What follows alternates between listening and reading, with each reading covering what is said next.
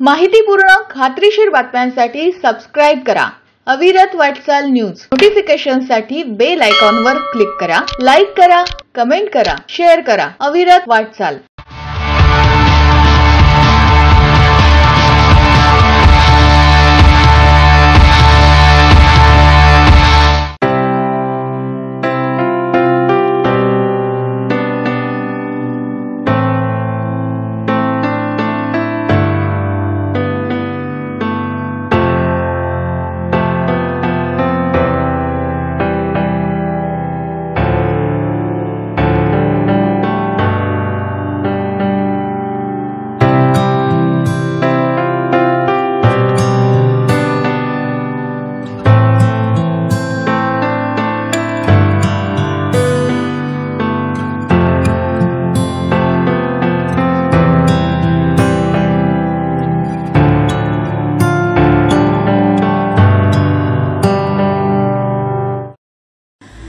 कोरोनाच्या आजाराने सर्वसामान्यांचं जीवनच ढवळून निघालं आहे.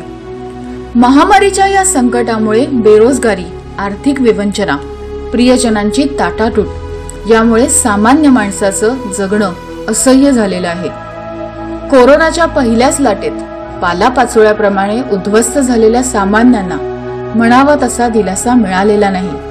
त्यामुळे कोरोनाच्या दुसऱ्या लाटेनंतरही चाच पडणाऱ्या आणि आर्थिक विवंचनेशी दोन हात करण्याचा प्रयत्न करणाऱ्या नवी मुंबईकरांची अवस्था एका लोकनेत्याला अस्वस्थ करत राहिली.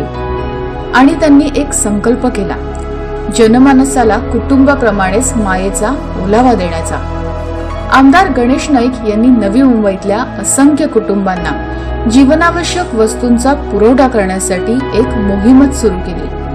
त्याचाच एक भाग म्हणून नेरूळमधल्या जुनं सेक्टर पन्नास इथं गणेश नाईक चॅरिटेबल ट्रस्ट आणि माजी नगरसेवक विशाल डोळस यांची संकल्प ऑर्गनायझेशन यांच्या संयुक्त विद्यमाने. नागरिकांना जीवनावश्यक वस्तूंचं वितरण करण्यात आलं.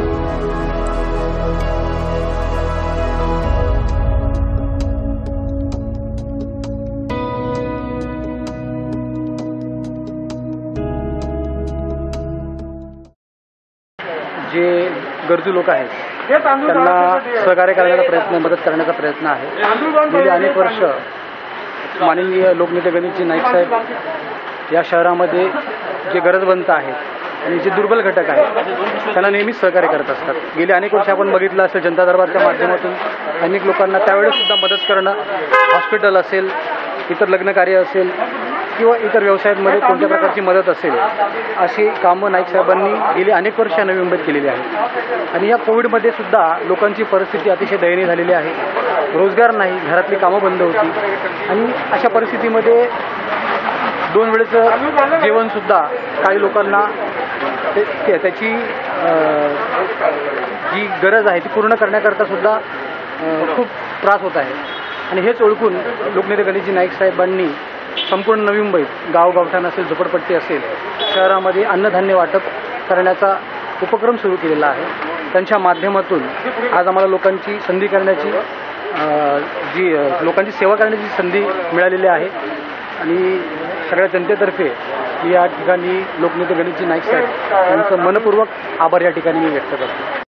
दादानी आम्हाला अन्नधान्य दिलं त्यात साखर आहे गो डाळ तांदूळ पीठ हे सर्व आम्हाला दिलेलं आहे. गरीब गोरवाला वाटप ते केलेलं आहे. त्याच्याबद्दल दादाचे धन्यवाद आम्ही मानतो. कोरोना संसर्गामध्ये कित्येकांपर्यंत मदतीचे हात पोचलेच नाहीत.